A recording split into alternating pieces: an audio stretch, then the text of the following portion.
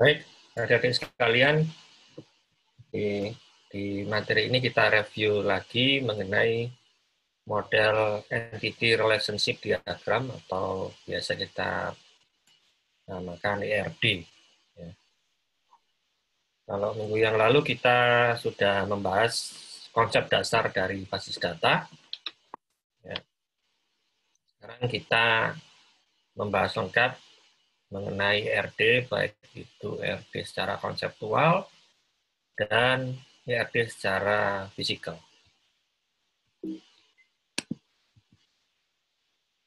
Oke, jadi RD sendiri ini adalah pemodelan yang eh, digunakan eh, oleh para desainer database ya, untuk membaca dari struktur data yang dibuat ya admin basis datanya atau basis datanya itu atau admin uh, database-nya yang bertugas untuk uh, membuat database dan sekaligus membuat tabelnya itu membaca dan sekaligus programmer juga membaca dari pemodelan yang sudah dibuat. Ya. Kegunaannya adalah kalau misalnya uh, alur data ya, alur data ataupun dari sebuah coding program ini itu memudahkan programmer atau administrator basis data itu bisa mencari tahu ya eh, data-data apa saja yang dibutuhkan pada sebuah aplikasi. Ya, jadi dengan ERD kita bisa tahu ya data apa yang bisa kita perlukan atau data apa yang kita perlukan dan antar data ini relasinya seperti apa. Apakah ada constraint-nya di dalamnya? Nah, itu dijelaskan semua di ERD. Nah, saya jelaskan lagi eh, objek dasar dari sebuah ERD adalah entitas atau entity. Ya, jadi objek dasarnya adalah yang kita bahas adalah entity atau entitas.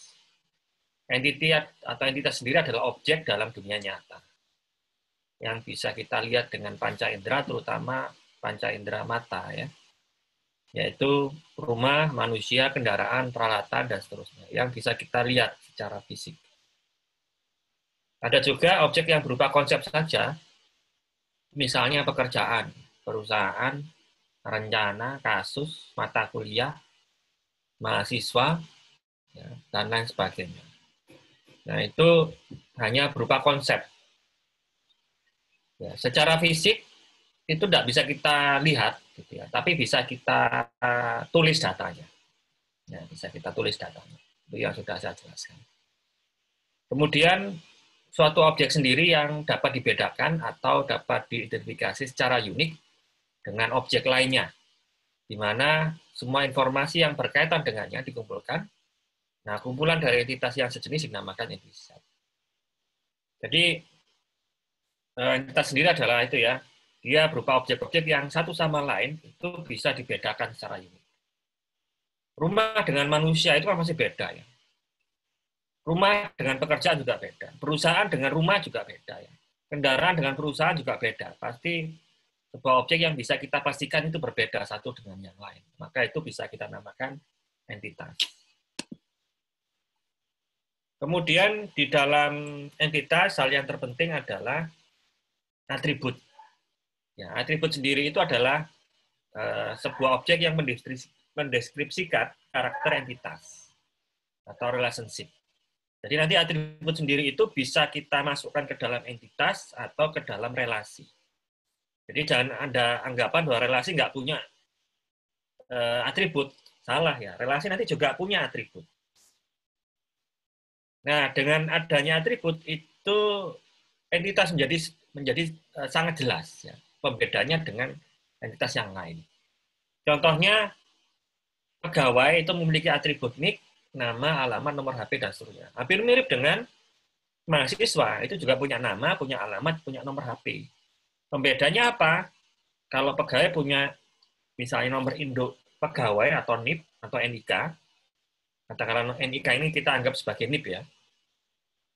Kalau mahasiswa nggak punya nomor induk pegawai. Nah, tapi mahasiswa punya NRP atau NIM. Ya. Dan pegawai enggak punya nih nomor induk mahasiswa enggak punya. Kalau misalnya gini, Pak, kalau ada yang pegawai sekolah di mana, Pak? Kan juga punya NIM. Nah, berarti dia satu orang ini punya dua entitas. Dia sebagai pegawai juga, dia juga sebagai mahasiswa. Tapi dipisahkan. Ya, benar-benar dipisahkan. Ya, seperti itu. Nggak bisa kita campur-campur jadi satu. Pegawai tiba-tiba punya NIM. Nah, malah amburadul gitu ya. Nah, itu ya. Ini contohnya kalau misalnya ada sebuah entitas eh, penduduk lah ya, saya katakan identitas penduduk, itu isinya apa saja, eh, bisa nomor KTP, atributnya ya, ada nama, alamat, tanggal lahir, jenis kelamin, status, nomor HP, foto, dan lain sebagainya. Nah, ini adalah entitas eh, penduduk. Kemudian contoh yang lain adalah entitas mobil. Nah, entitas mobil nanti isinya ada atribut nomor mesin, nomor plat, model, merek, harga, warna, tahun pembuatan. Nah, jadi seperti contoh-contohnya. Kemudian pemodelan dari sebuah RD, entitas itu ada entitas dibedakan menjadi dua bagian, yaitu entitas lemah dan entitas kuat. Yang kita bahas tadi adalah entitas kuat. Entitas yang berdiri sendiri, yang keberadaannya tidak tergantung dengan entitas yang lain. Dan bisa dibedakan satu dengan yang lain. Sedangkan entitas lemah atau weak entity itu berisi entitas yang kemunculannya tergantung pada eksistensinya dalam sebuah relasi. Ya, jadi dia sangat tergantung pada entitas kuat, entitas lemah itu. Contohnya adalah orang tua dan hobi adalah entitas lemah, dia punya entitas kuatnya mahasiswa.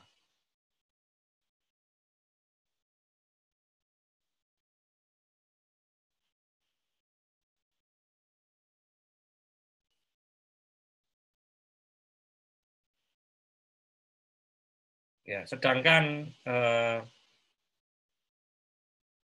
pegawai itu entitas kuatnya, tanggungan adalah entitas lemahnya.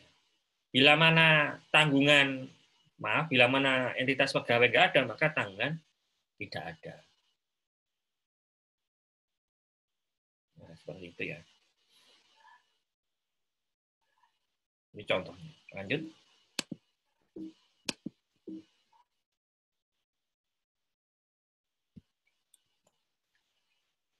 Nah, pemodelannya jadinya seperti apa adik sekalian untuk uh, entitas lemah dan kuat?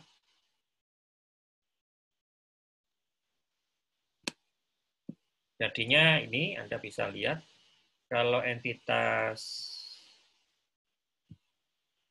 uh, kuat, nah ini contohnya. Ini.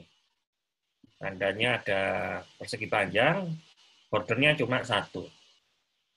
Ya. Kemudian entitas lemah, yang ini, entitas lemah, itu yang ini ya, entitas lemah. Ada bordernya double, berarti ini dia entitas lemah, weak entity. Kemudian antara entitas lemah ke entitas kuat, itu ada relationship yang mana relationship-nya juga weak relationship. Di mana dengan tandanya adalah tanda relationship tapi bordernya double seperti itu. Kemudian direlasikan seperti ini. Oke, kita lanjut.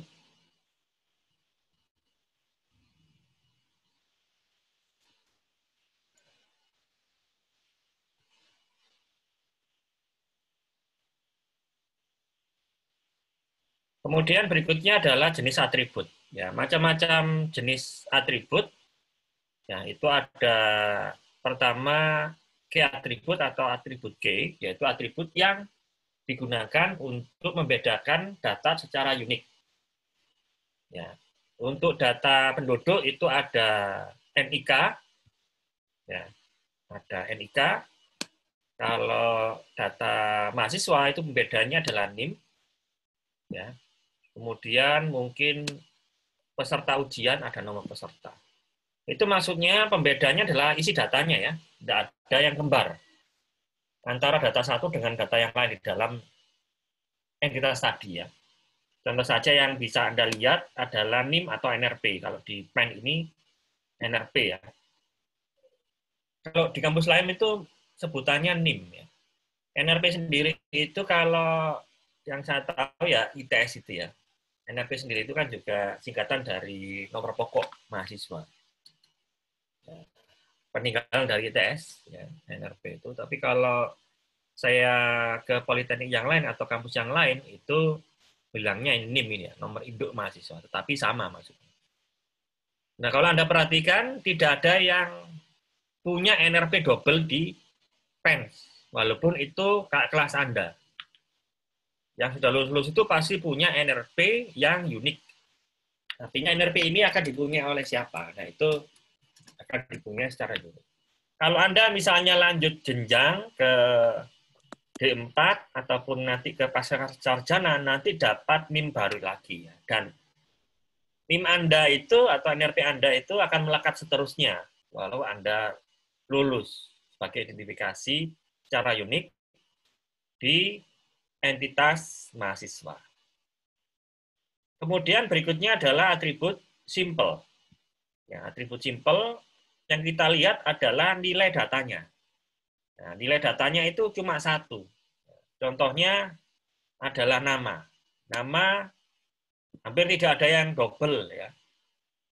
Ini secara administratif ya, administratif bahwa nama itu ya cuma satu, tapi tidak unik ya, tidak unik nama itu. Jadi nama misalnya Anda punya nama Agus, nah, nama Agus itu kalau di Surabaya kan itu searat-arat ya, banyak sekali. Atau nama Eko, ya, atau nama Budi. Ya. Tapi yang paling banyak ya di dunia itu nama Muhammad. Ya, itu banyak sekali. Ya. Hampir di setiap kelas itu pasti ada nama Muhammad. Ya. Penghargaan kita kepada Nabi kita. Nah, eh, kemudian ada harga. Barang itu satu harga. Barang itu satu harga, harusnya di dalam toko tadi itu. Harusnya satu harga di dalam toko tadi itu. Tidak ada eh, double harga di dalam satu toko. Tapi kalau misalnya Anda keluar dari toko tadi itu mungkin harganya berbeda antara satu dengan yang toko yang lain. Tapi kita melihatnya adalah dalam satu toko tadi itu. Kemudian status. Ya, status contohnya adalah status single, status merit. Ya, cuma ada status itu saja ya, Eh, status merit atau single. Kemudian berikutnya yang kita lihat lagi dari nilainya adalah atribut multi value ya. Atribut multi value jadi atribut yang memiliki sekelompok nilai yang banyak. Ya, jadi kalau tadi yang bernilai tunggal ya dalam satu data atau satu kolom. Nah, berikutnya Anda bisa uh, melihat contoh untuk satu kolom itu nilainya banyak dalam satu baris data itu adalah gelar. Hobi. Ya, jadi kalau misalnya eh, Anda lulus di tiga nantinya kan dapat gelar ahli madya, ya. nah, MD. Ya, MD seperti ini. Ketika Anda melanjutkan ke D4 katakanlah, maka Anda dapat gelar ST, Sarjana Terapan. Ya. Berarti kan Anda punya dua gelar, AMD sama ST. Kalau Anda melanjutkan di perguruan tinggi pasca sarjana, maka Anda dapat gelar MT, Magister Terapan. Anda punya gelar tiga, berarti satu orang punya gelar tiga. Maka itu dinamakan multi value attribute. Ada juga hobi. Ya, hobi sendiri jarang yang menulis satu. Ya. Hobi misalnya sepeda, sepedaan, baik. Kemudian ada nonton, hobi nonton, hobi baca misalnya. Ya. Biasanya lebih dari satu. Makanya dikelompokkan dalam multi value attribute. yang kita lihat dari isi datanya. Kemudian berikutnya yang kita lihat dari atributnya. Ya, yang kita lihat dari atributnya itu adalah atribut komposit. Ya, atribut komposit. Jadi satu atribut itu bisa dipecah menjadi beberapa atribut baru. Contohnya adalah alamat. Alamat itu bisa ada apa? Alamat eh, dipecah lagi RT ya, RW, kelurahan, kecamatan, ya, lalu kota, provinsi, bahkan nanti negara. Nah, seperti itu. Jadi satu atribut bisa dipecah lagi menjadi beberapa atribut baru. Tapi sebetulnya dia referensinya alamat ini. Kemudian contoh yang lain adalah korban sama waktu. Ini korban ini apa maksudnya? Waktu ini, oh waktu ini ada apa? Waktu bisa berupa tanggal, ya, kemudian jam, menit, detik, ya. Tanggal sendiri kan juga dipecah lagi ya. Tanggal, bulan, tahun itu waktu. Jadi satu atribut bisa dipecah lagi menjadi beberapa atribut baru. Nah, berikutnya adalah atribut derivatif.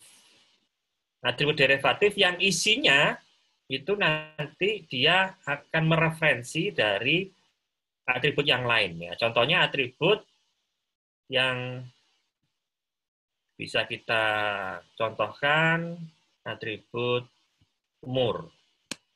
Umur ini isi datanya menghitung dari atribut tanggal lahir. Ya, menghitung tanggal lahir. Nah, itu ketemu tanggal lahir dikurangi atau dibandingkan dengan dicari nilai bitwinnya antara tanggal lahir dengan tanggal sekarang, maka ketemulah umur. Nah, datanya dimasukkan ke atribut umur. Nah, itu.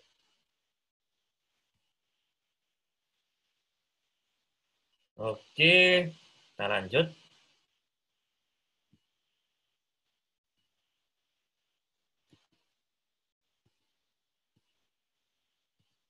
Nah, ini contohnya beberapa atribut pemodelan atribut ya.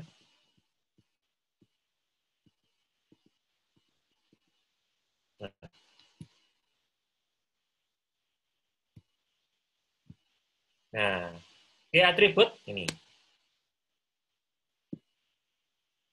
Bentuknya oval, kemudian nama atributnya dikasih underscore. Ini juga. Oke, ya.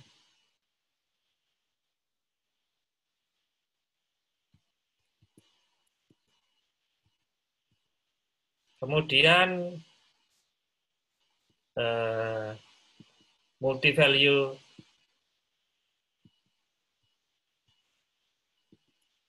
atribut komposit ya.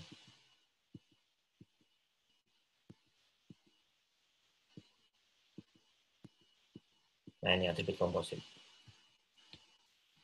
Ya, nama dipecah lagi menjadi beberapa bagian, jadi ada nama depan, nama tengah, nama belakang.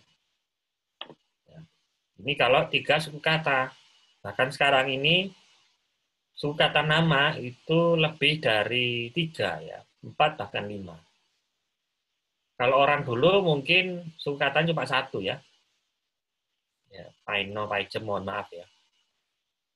Itu di orang dulu. Kemudian di era 80-an sampai tahun 2000-an itu ada dua suku kata, termasuk nama saya. Nama depan dan nama belakang. Kemudian di era-era kelahiran tahun 2000-an ke atas itu sudah tiga suku kata. Nah, nanti di era ini kan sudah mulai empat suku kata, bahkan lebih. Kita bisa perhatikan nama-nama teman Anda itu kan sudah mulai empat suku kata, atau bahkan lebih. Nah, itu maksudnya. Oke. Kemudian berikutnya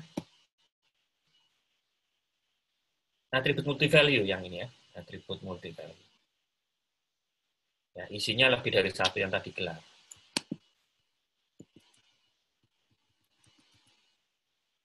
Kemudian atribut simple. Atribut simple ini oval biasa seperti ini ya, tanpa ada embel-embel apa-apa. Ya.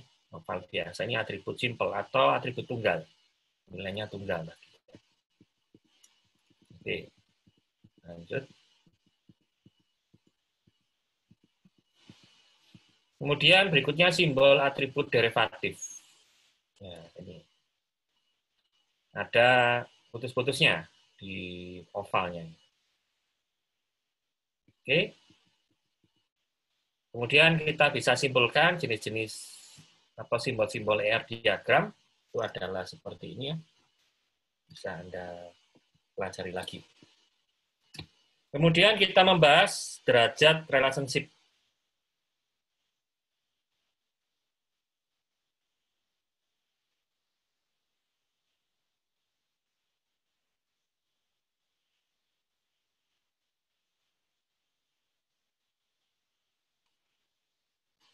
Ya, yang pertama adalah unary.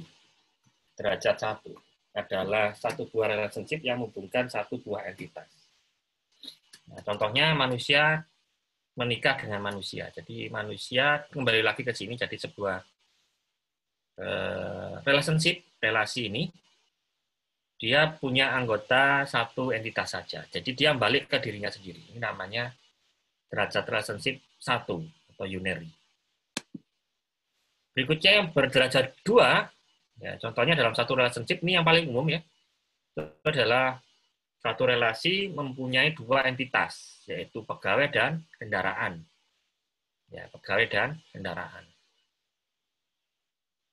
Kemudian berikutnya yang berderajat tiga. Jadi satu entitas punya, maaf, satu relasi punya tiga entitas ya, yaitu pegawai, kota, dan proyek. Ini juga sering terjadi juga ya, di dalam pemodelan IRD. Kemudian kardinalasi relasi atau kardinalitas relasi, jadi hubungan antar entitas. Itu kita lihat datanya, isi datanya ya. Jadi pertama kali adalah hubungan one to one atau satu ke satu. Ya, maksudnya adalah ini contohnya ya. Pegawai memiliki kendaraan dinas. Kendaraan dinas memiliki pegawai. Dapat dipastikan hubungan bantuan bila mana satu pegawai itu hanya memiliki satu kendaraan dinas dan satu kendaraan dinas itu hanya dimiliki oleh satu pegawai. Tidak ada yang satu pegawai punya dua kendaraan dinas dan tidak ada satu kendaraan dinas dipakai oleh lebih dari satu pegawai. Nah, itu bisa kita sebut sebagai hubungan one to one. Hubungan one to one seperti itu. Kita lihat isi datanya ya. Kemudian hubungan one to many. Jadi hubungan satu ke banyak. Contohnya ada relasi antara dosen dengan mata kuliah. Nah, ceritanya seperti ini, satu dosen itu akan mengajar banyak mata kuliah dan satu mata kuliah hanya diajar oleh satu dosen maka bisa kita pastikan ini adalah hubungan one to many atau satu ke banyak. Sekali lagi yang kita lihat adalah isi datanya. Kemudian berikutnya hubungan many to many atau banyak ke banyak. Contohnya relasi antara entitas mahasiswa dengan mata kuliah. Ini ceritanya satu mahasiswa bisa mengambil banyak mata kuliah dan satu mata kuliah bisa diambil oleh banyak mahasiswa. Nah, cara bacanya seperti itu ya. Oke, lanjut. Kemudian contoh ER diagram yang lain yang kita hubungkan ya contohnya tadi ini ya fakultas uh, hubungannya one to many ya satu fakultas punya banyak mahasiswa mahasiswa mengambil banyak mata kuliah satu mata kuliah diambil oleh banyak mahasiswa lalu satu mata kuliah diajar oleh satu dosen dan satu dosen banyak mengajar mata kuliah satu dosen hanya di satu fakultas dan satu fakultas memiliki banyak dosen. Nah, cara bacanya seperti itu. Nah, kemudian eh, peningkatan dari atau enhance ER features atau peningkatan pemodelan ERD atau ERD tingkat lanjut lah saya katakan itu. Ada hubungan supertype dan subtype. Ya, supertype adalah suatu entitas yang bersifat umum, subtype adalah suatu entitas yang merupakan pengkhususan dari supertype. Mobil dapat menjadi supertype, ya di dalamnya, di bawahnya itu ada sedan, bus, dan van. Itu adalah uh, subtype-nya dari mobil. Mobil supertype-nya dari sedan, bus, dan van. Jadi hubungan khusus ke umum atau sebaliknya ya. Nah, nanti ini bisa kita lihat, ini ada supertype, ya di bawahnya ada subtype subtype seperti ini. Jadi yang umum itu kita masukkan ke supertype, kemudian yang khusus kita breakdown ke supertype supertype. Maaf di subtype subtype. Nah, eh, hubungannya supertype dan subtype itu nanti kita bisa mengenal istilah generalisasi dan spesialisasi. Jadi kalau generalisasi berarti proses perancangan yang sifatnya bottom up, ya, dari khusus ke umum, ya, spesialisasi itu kebalikannya. Sifatnya adalah top down, dari umum ke khusus. Nah, sebutannya itu seperti ini ya, is A, is A. Tapi anak panahnya kalau kita lihat uh, ada yang ke atas di sini. Ini berarti generalization. Jadi dari khusus ke umum. Ini juga seperti itu ya. Nah, contohnya generalisasi adalah ini ya. Uh, mobil, motor, truk. Ya, generasinya ini.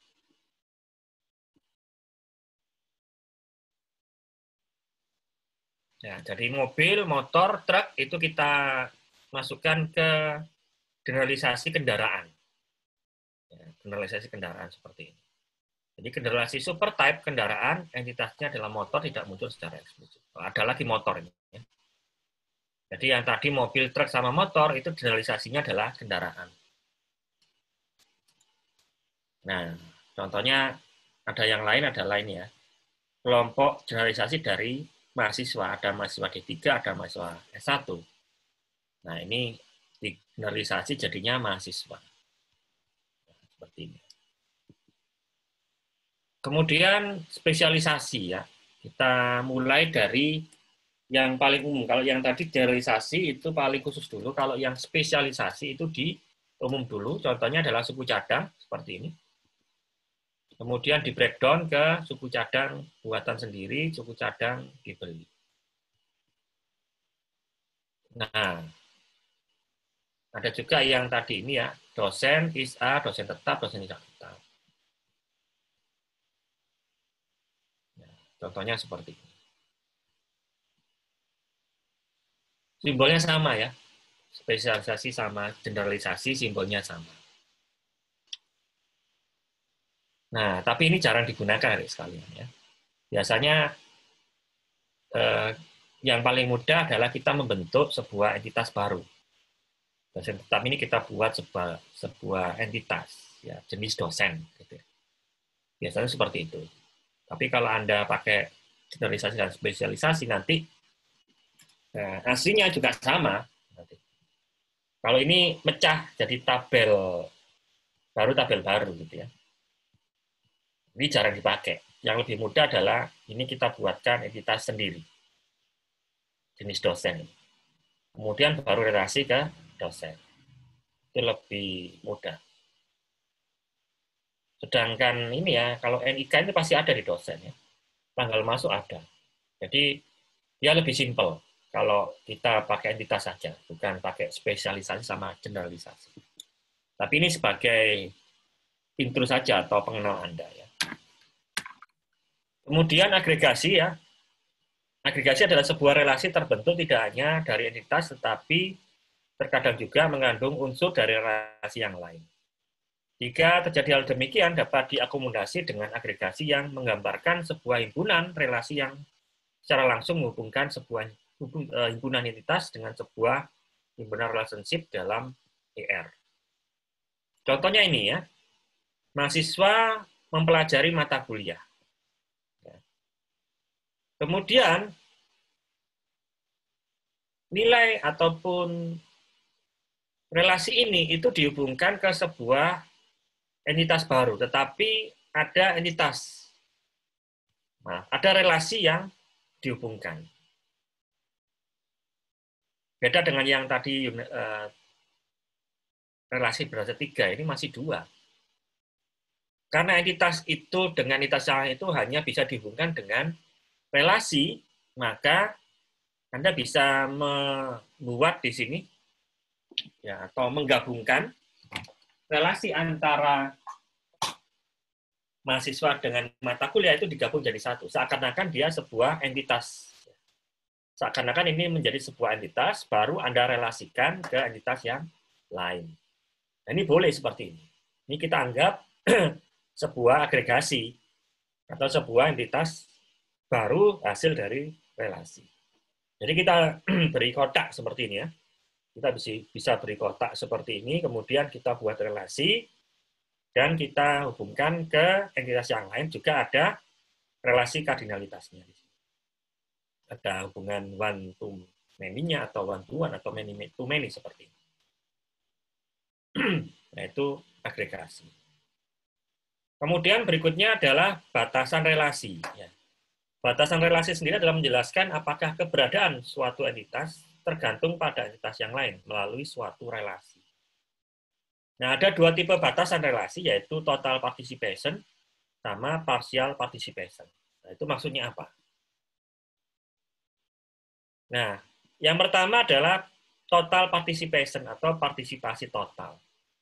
Suatu entitas disebut dengan berpartisipasi total jika keberadaan entitas tersebut sangat bergantung pada keberadaan entitas yang lain.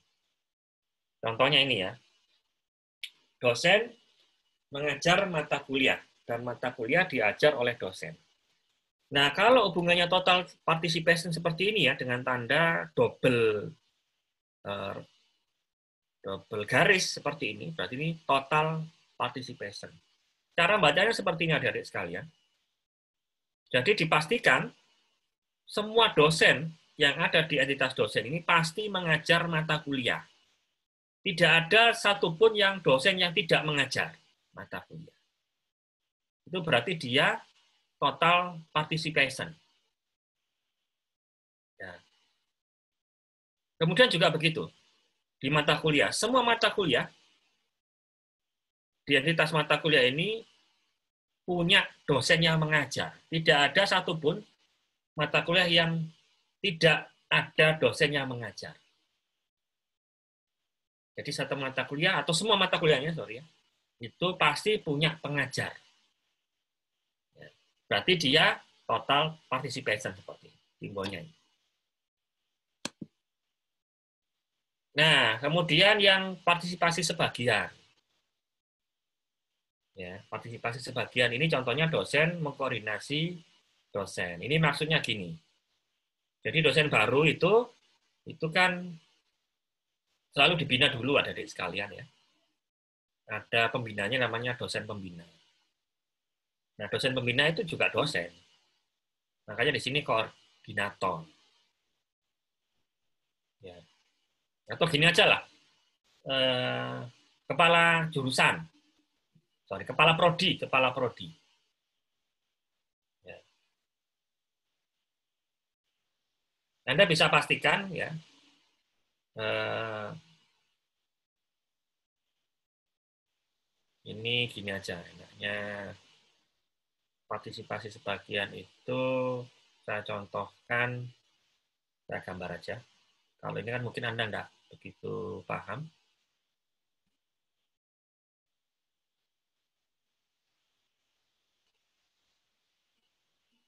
Antara ini ya, ini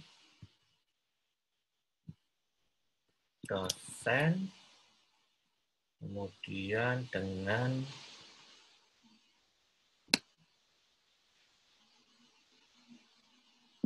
prodi ya. prodi. Kemudian ada relationship di sini.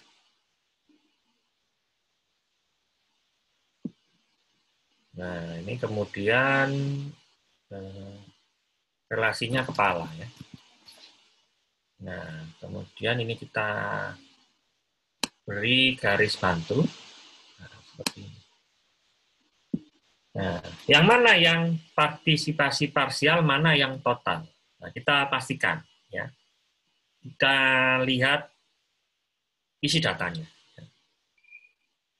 Oke, pertanyaan saya, saat di seluruh dosen ini, di entitas dosen, itu pasti mengepalai prodi atau enggak? Nah, kalau misalnya tidak, tidak semua dosen kan, tidak semua dosen jadi kepala prodi, maka dia parsial partisipasi. Garisnya cuma satu, seperti ini. Kemudian berikutnya kita lihat di entitas yang prodi.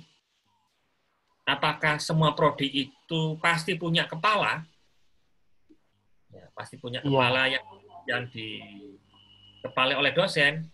Nah, jawabannya iya. Ya, pasti semua prodi itu punya kepala. Maka di sini kita gambarkan partisipasi total garisnya double. Nah, ini berarti dipastikan semua prodi itu pasti punya kepala. Tetapi yang parsial, yang dosen, tidak semua dosen yang mengepalai prodi. Makanya dia partisipasi sebagian seperti ini. Nah, itu contohnya. Kemudian bisa dipahami. Kita lanjut ke berikutnya. Lihat dulu. Oke, sehingga Anda nanti bisa mendeteksi atau membuat langkah-langkah ERD ya. Oh, langkah-langkah untuk membuat ERD. Jadi pertama mengidentifikasi entitas-entitasnya ya yang terlibat, kemudian atribut-atribut entitasnya beserta ke atributnya, lalu eh, mengidentifikasi dan menetapkan seluruh himpunan relasi, jadi ada relasinya di situ, lalu tentukan derajat dan kardinalitasnya, melengkapi himpunan relasi dengan atribut-atribut yang bukan kunci atau non-K, lihat kembali RD yang dibuat apakah masih perlu penghalusan atau ada generalisasi-generalisasi.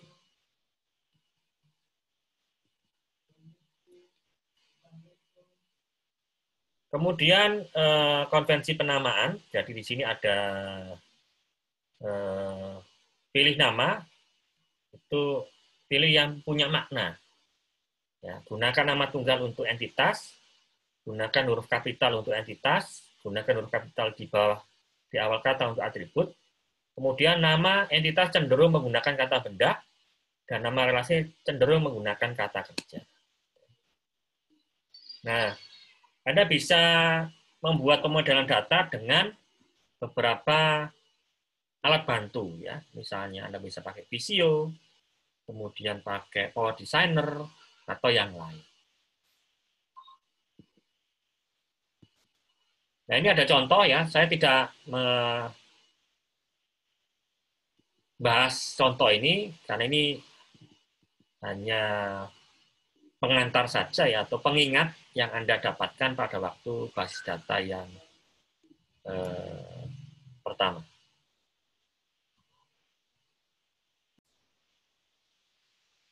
Baik, lanjutannya di sini adalah mapping dari RD ke tabel atau konseptual ke physical model. Jadi yang kita bahas sebelumnya adalah eh, RD secara konsep, ya, kemudian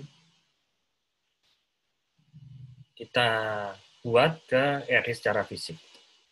Jadi kalau konsep itu nggak bisa kita implementasikan ke dalam database ya. Jadi harus kita konversi dulu ke physical model.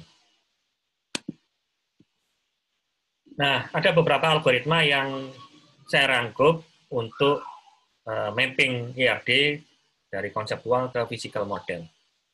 Algoritma satu, untuk setiap entitas kuat, buat tabel baru entitas kuat yang memasukkan semua atribut sederhana. Jadi entitas kuat itu jadi tabel. Ya, kemudian simple atributnya atau atribut-atributnya itu menjadi sebuah kolom atau field. Ya. Lalu untuk atribut komposit, ya, komposit tadi itu contohnya alamat ya, ada alamat detail, ada alamat RT, RW, kecamatan, kelurahan, kota, provinsi misalnya, itu jadi yang kita ambil itu atribut sederhananya saja. Kalau tadi nama itu ada nama depan, nama tengah, nama belakang, kita ambil adalah nama depan, tengah, dan belakang tadi.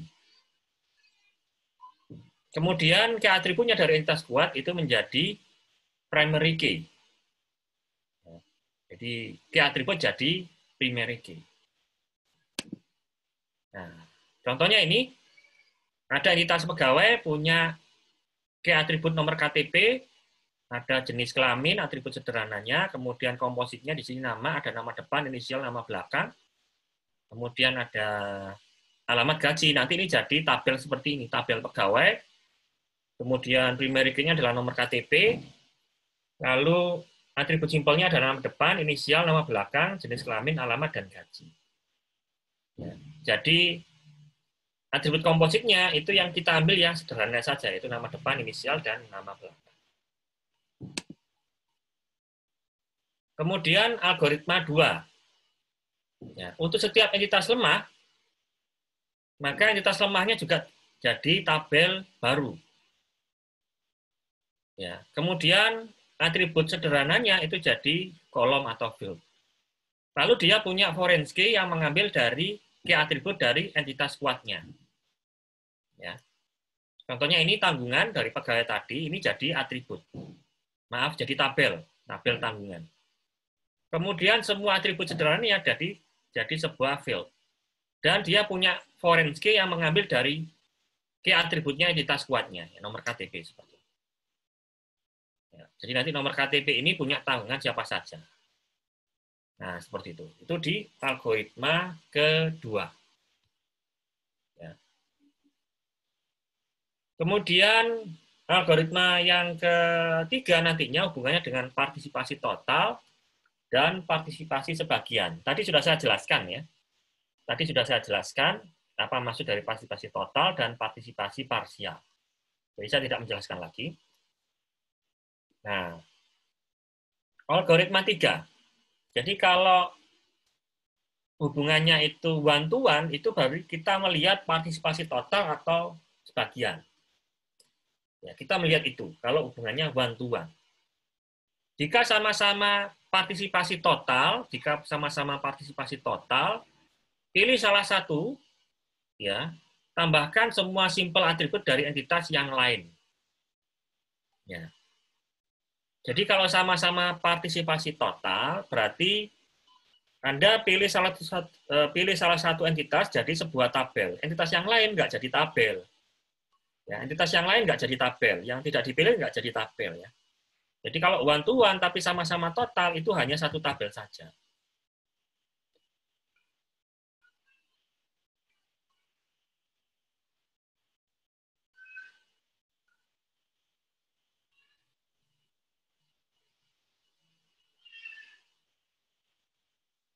Kalau sama-sama parsial, nah pilih salah satu, tambahkan foreign key dan primary key ke entitas yang lain.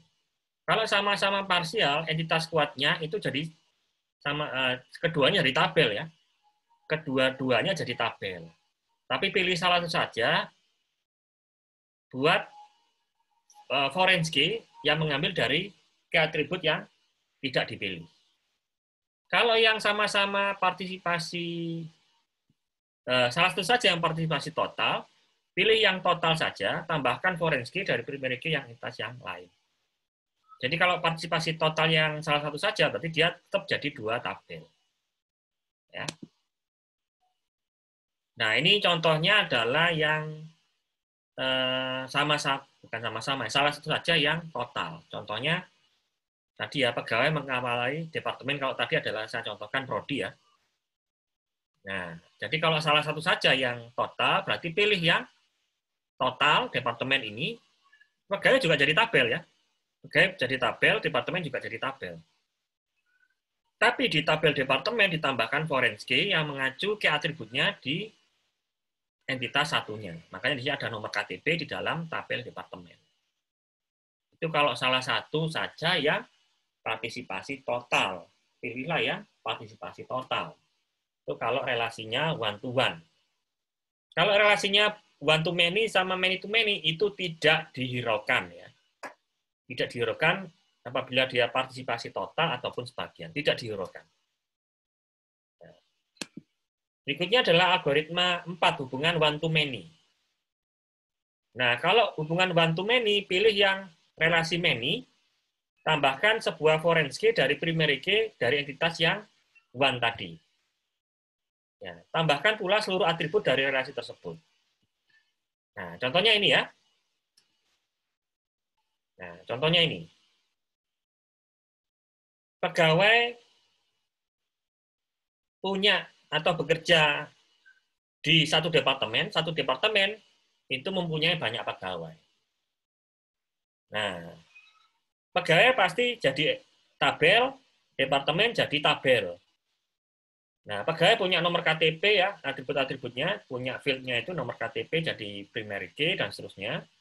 Departemen juga begitu, punya nomor departemen sebagai primary key, sama sebagai uh, field, kemudian ditambahkan foreign key.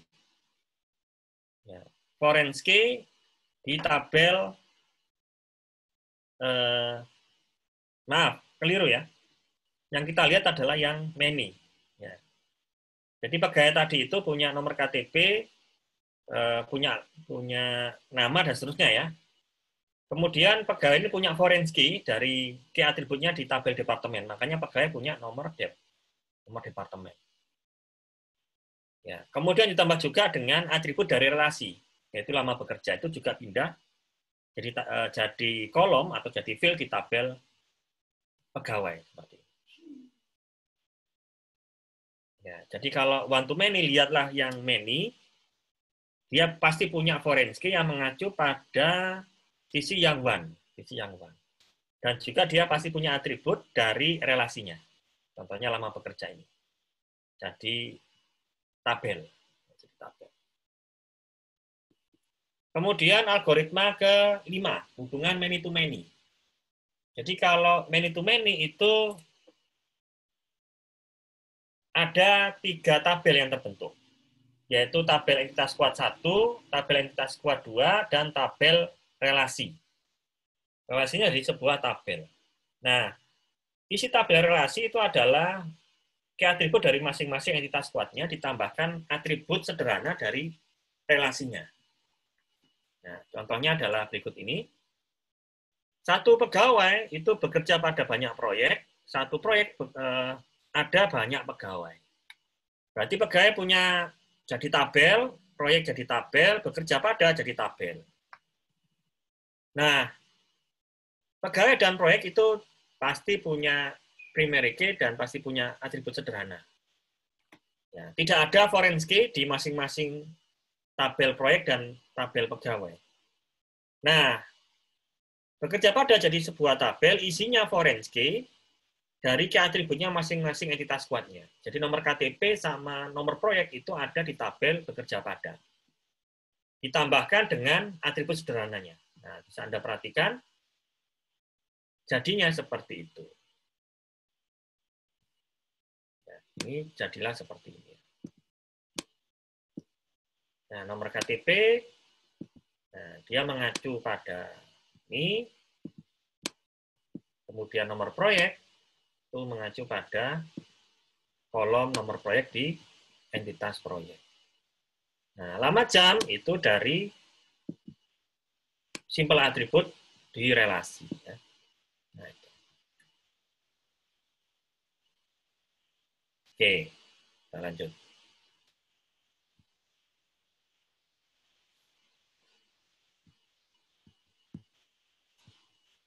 Kemudian algoritma berikutnya, adalah algoritma 6 untuk setiap multi value atribut yang atributnya nilainya lebih dari satu, contohnya tadi gelar, ya hobi dan seterusnya. Nah, jadi atribut tadi itu jadi tabel. Ya, atribut tadi yang punya nilai lebih dari satu jadi tabel. Izinnya adalah seluruh simpel atributnya dari atribut multi value tadi, tambahkan foreign key dari primary key entitas kuatnya. Ya, seperti seperti halnya kita tadi membicarakan masalah entitas lemah. Nah, itu entitas lemah kan jadi tabel. Nah, contohnya ini lokasi ya. Departemen ini berlokasi pada kalau kampus PEN itu ada ada tiga ya kampus PEN saat ini. Di kampus PEN yang di ITS, kemudian dua PSDKU di Sumeneb dan Lamongan. Nah, lokasinya berarti ada tiga. Berarti lokasi ini jadilah tabel baru.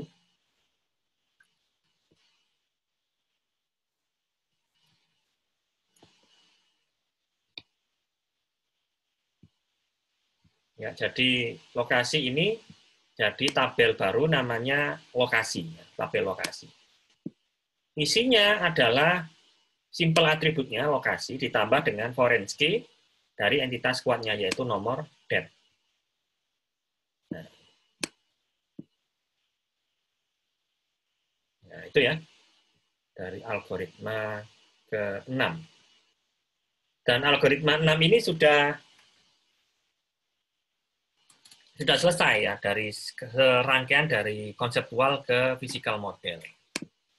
Nah, di slide berikutnya ini contoh dari gabungan pemodelan tadi itu digabung jadi satu, jadinya seperti ini. Dan ini yang konsep tadi, yang konseptualnya digabung jadi satu, kemudian jadi tabelnya itu mengikuti langkah-langkah yang ada sampai step 6. Seperti ini.